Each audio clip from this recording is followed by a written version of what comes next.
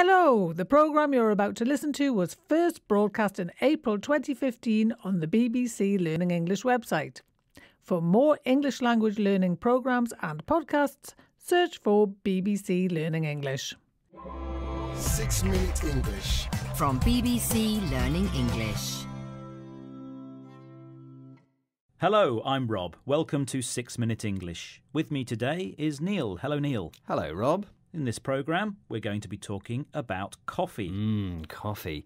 I've actually got one here in front of me, Rob. All right.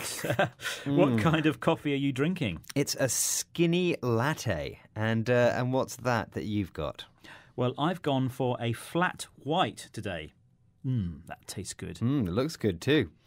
The market for the world's most popular drink has come a long way since the days of instant coffee, when we just added boiling water to some brown powder. Yes, that's very true, Neil. After that came the giants like Starbucks and Costa Coffee, who made coffee drinking trendy and a lifestyle statement. People are far more aware of what they're drinking these days. Mm, but Rob, I don't think we should forget what lies behind the coffee we enjoy every day. It's a hugely complicated business. Yes, it's the second biggest commodity in the world after oil. That means the price of coffee is changing every day, every hour even, as traders speculate about the price. And it means farmers in countries like Ethiopia, Costa Rica, and Brazil are dependent on the deals that are made in commodity markets thousands of miles from their farms. It makes them extremely vulnerable. Let's listen to food journalist Sheila Dillon as she explains the impact of coffee markets on local growers. She uses an expression that means has a big effect. Can you tell me what it is? What happens in the coffee market makes waves around the globe. Entire national economies depend on the price of coffee.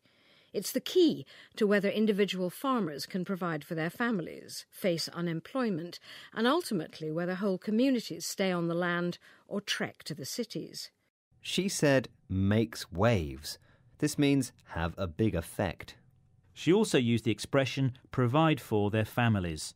This means the farmer's family have enough income to live comfortably. Good, right. So, what about our quiz question today? Neil, do you know how many cups of coffee are drunk worldwide each year? Is it A, 38 billion, B, 400 billion, or C, 950 billion? Well, it's going to be a huge number, of course, but I still think I'll go for the lowest figure, which is 38 billion. Okay, well, we'll see if you've got the answer right at the end of the programme. Now, the price of coffee has soared. That means gone up quickly in recent years, Rob. Surely that's good for everyone involved in the business. I believe the profit margins for coffee are amongst the highest in the world. I can't see what all the fuss is about. well, Neil, just because the price is high, it doesn't mean that everyone benefits. It all depends on how the profits are distributed. You see, there are countless transactions between the grower and the drinker. A grower can have a really good crop, but the amount he makes stays the same, or can even fall. Mm, I see the problem.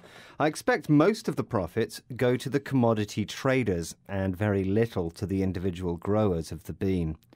It sounds like the growers have no control. That's what happens in other agricultural sectors. I'm afraid so. Of course, some people are trying to distribute the profits more widely, and they have been having some success. Yes.